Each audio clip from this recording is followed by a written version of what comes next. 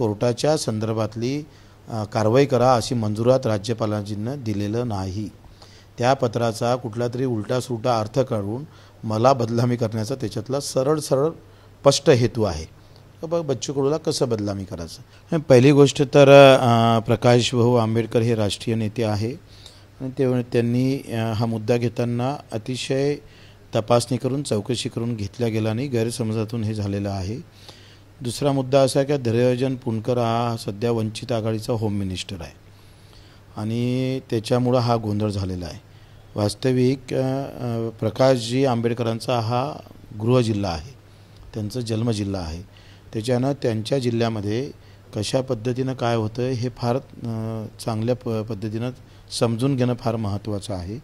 आपण लक्षात घ्या का जिल्हा परिषदनं पाच वर्ष P C I one P C I two three four करायला पाहिजे. म्हणजे प्राधान्यक्रम रस्त्याची करायला पाहिजे ते केलंच नाही. म्हणजे जिल्हा परिषदचा पहिला दोष. P C I one two three केल्याशिवाय तीस चौपन्नचे कामं देताच येत नाही त्याच्यामुळं रस्ते होत नाही. आणि जिल्हा परिषदच्या या भोंगड कारभारामुळं ग्रामीण भागातले अकोल्यातले रस्त्याची सगळी वाट लागलेली आहे हे फक्त जिल्हा परिषदच्या प्रशासनामुळं. दुसरा गोष्ट आहे का तुम्ही आत्ताच सांगितलं योग्य कारवाई करा असं म्हटलेलं आहे. आता एखादं पत्र जेव्हा मुख्यमंत्र्याला देतो किंवा माझ्याकडे येतो आम्ही त्या पत्राला एक उत्तर देतो. का सदर पत्र आमच्याकडे आलेलं आहे आणि सदर पत्रानुसार आपण योग्य कारवाई करावी.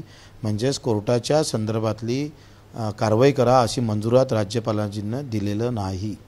त्या पत्राचा कुठला तरी उलटा सुलटा अर्थ काढून मला बदलामी करण्याचा त्याच्यातला सरळ सरळ स्पष्ट हेतू आहे. बघ बच्चू कडूला कसं बदलामी करायचं? कारण आम्ही कामाचा प्रचंड ओघ तिथं निर्माण केला प्रचंड काम तिथं उभं केलं. आणि त्याच्यामुळं कुठं ना कुठं काहीतरी जलन निर्माण व्हावं अशा पद्धतीनं ते एकंदरीत आहे. तर दुसरी गोष्ट अशी आहे का त्यांनी तक्रार करताना काय म्हटलं? का मिसिंग रस्ते जे रस्तेच नाही आहे ते रस्ते घेत. आता पालकमंत्री रस्ते सुचवत नाही. रस्ते कोण सुचवतं? त्या भागातले खासदार आमदार जिल्हा परिषद सदस्य ग्रामपंचायत यांनी रस्ते सुचवलेले आहे. आणि यांनी रस्ते सुचवल्यानंतर आमचं काय काम आहे? का ते प्रशासनाकडे आपण देतो ते तपासून पाहतं. प्रशासन तपासतं ते रस्ते आहे का नाही आहे अस्तित्वात. आता कोणाच्या शेतातून रस्ता करू देईन का तुम्हाला? म्हणजेच रस्ता असल्याशिवाय रस्ता करता येते का? असा कोणी मला जगातला माणूस पकडा. का रस्ता अस्तित्वात नाही रस्ता करतं तर म्हणजे कोणाच्या शेतात करावं लागेल नाही तर कोणाच्या घरात करावं लागेल. म्हणजे असा हा मूर्खपणाचा आदे म्हणजे आरोप करणं हे त्याच्यापेक्षा मूर्खपणा आहे. तर तीन सप्टेंबर दोन हजार मी तुम्हाला शासन निर्णय वाचून दाखवतो. तीन सप्टेंबर दोन हजार सोळाचा शासन निर्णय. काय म्हटलं यानं? जिल्हा परिषद दरवर्षी उपलब्ध होणाऱ्या निधीपैकी वीस टक्के निधी नवीन जोडणी अस्तित्वात नसलेली लांबी. म्हणजे जी लांबी अस्तित्वात नाही त्याच्यामुळं गावाची जोडणी होत नाही. लक्षात घ्या. ते मिशिंग लिंक जोडणे हे पन्ना व पासष्ट टक्के निधी रस्ता मजबूतीकरण आणि काही पुलासाठी देणे. काय म्हटलं आहे मिसिंग लिंक. म्हणजे कुठं कुठं काय रस्ता आहे पण मिसिंग आहे. ते जुळत नाही. मग आपण काय करतो आहे तो जोडण्याचा प्रयत्न करतो. म्हणजे हे शासन निर्णय शासन निर्णयानं करप्शन केलं काय मग? मिसिंग लिंक जोडणं म्हणजे मूर्खपणा आहे का धैर्यवर्धन पुणकर हा जो ज्या पद्धतीनं आरोप करतो आहे हे डोकं नसल्या प्राध्यापक आहे पण डोकं खाली आहे अशातला तो प्रकार आहे. आता ह्या शासन निर्णयानुसार काही आम्हाला जे काही पत्र आले त्या पत्रानुसार आपण डी पी डी सीमध्ये ठेवले. जिल्हा नियोजन समितीनं मी एकटा अध्यक्ष आहे का त्याच्यात त्याच्यात पंधरा वीस सभासद आहे. त्याच्यात वंचित आघाडीचे सन्मान्य अध्यक्ष हे सुद्धा सभासद आहे. मग त्यांनाही तुम्ही पैसे खाल्ले असं म्हणायचं आहे का? तुमच्या वंचित आघाडीच्या जिल्हा परिषद अध्यक्षांनी सुद्धा याला होकार दिलेला आहे याला अनुमती दिलेली आहे. एक शब्दसुद्धा ते तिथे बोलले नाही. तुमच्या जिल्हा परिषदचा सी ओ तिथे आहे त्या समितीमध्ये. समितीनं याला मंजुरात दिली. आणि मंजुरात दिल्यामुळं जे कामं जिल्हा परिषदच्या गलथान कारभारामुळं ज्याचं P C I one P C I two प्राधान्यक्रम ठरवायला पाहिजे जिल्ह्याचं हे पाच वर्ष ठरवलंच नाही. आणि त्याच्यामुळं ही सगळी वेळ आलेली आहे. आता याच्यातला करप्शनचा प्रश्न एक कोटी पंच्याहत्तर लाख असं काय असणार? रस्त्याचं काम आता पंचवीस टक्के झालेलं आहे. आणि एक खडकूही बिल निघालं नाही. तर करप्शन कसं झालं? हे धैर्यवर्धन पुणकरच्या कोणत्या डोक्यातून कल्पना आली? तो कुठं अमेरिकेत जाऊन हे असा भ्रष्टाचार शिकला काय कसा होते ते त्यांना आम्हाला समजून सांगावं. दुसरी गोष्ट याच्यातला एक खडकू जरी बच्चूकडून खाल्ला तर हात कलम करू. आणि जर मी निष्पन्न झालं नाही तर मग काय धैर्यवर्धन पु- पुणकरचं काय करावं आम्ही? हा प्रश्न विचारला तर.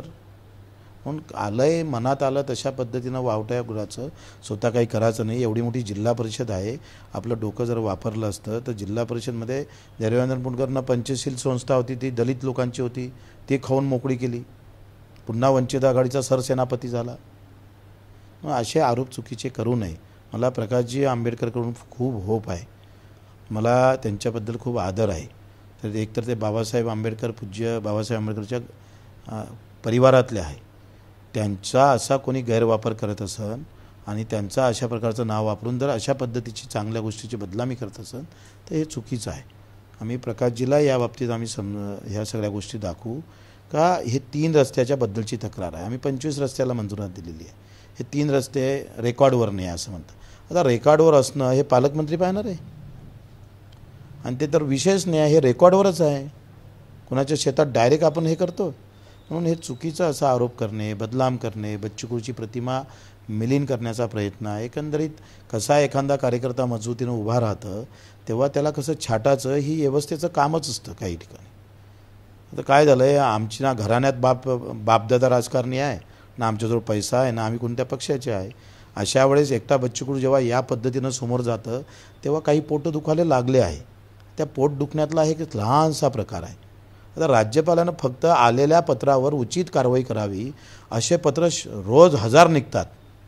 त्याची प्रेस घेता तुम्ही? केवढे मूर्खपणाचं लक्षण आहे. आणि मी तर म्हणतो कोणा काय केंद्रीय मिनिस्टर करून किंवा केंद्राकडून चौकशी करा. एका गोष्टीनं आम्ही हे झालं असं चुकीचं असं. परत इथं नियोजन सचिवानं म्हटलं का तुम्ही केलेली कारवाई योग्य आहे? याच्यात कुठलीही चूक केली नाही त्याचे पत्र आमच्याकडे आहे मग एवढं सगळं असताना अशा पद्धतीनं आरोप करणं खरं असेल आम्ही खरंच चुकीचं वागलो असेल तर शिक्षा भोगू ना आम्ही. पण कुठल्याही प्रकारचं चुकीचं न वागता अशा प्रकारचा आरोप करणं एखाद्या चांगल्या कार्यकर्त्याला ते शोभनीय नाही. एखाद्या चांगला कार्यकर्ता कोणी काम करत असन आणि असे चुकीचे आरोप करत असेल तर ते चुकीचं आहे. आता मिसिंग लिंक घ्या याच्यात वीस टक्के घ्याच म्हणतं. कारण आता बेल्लोरा आहे. बेल्लोरा अमराव शिरार रस्ता आहे पण तो मधात दिसत नाही. मग आपण काय करतोय? का कुठं तो रस्ता पानन रस्ता आहे का? त्याला जोडता येते आहे. मिसिंग जोडतो आपण. म्हणजे जी लिंक क्लिअर करतो. म्हणजे मुंबईला जाणारा रस्ता एखादा कुठून जात असेल आणि तिथून जर तो कुठं दिसत नसेल तर आपण तो जोडण्याचं काम करतो. पण अस्तित्वात असल्या असलेला रस्त्याचा. तो रस्ता जोडला जात नाही. तो तुकडा जोडतो. एखादा थोडासा पाठ जोडला का ते गावाला जाणारा मार्ग सुकर होते.